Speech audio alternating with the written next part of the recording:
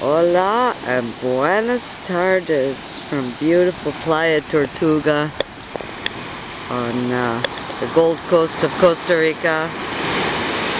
It's just after 5 p.m. and tide's starting to come in, the sun's going down. These sound effects are amazing.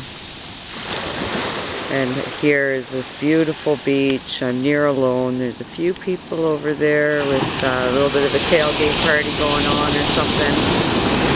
But otherwise, it's just me and the pelicans and the waves and the sunset. Absolutely gorgeous. The skies are starting to light up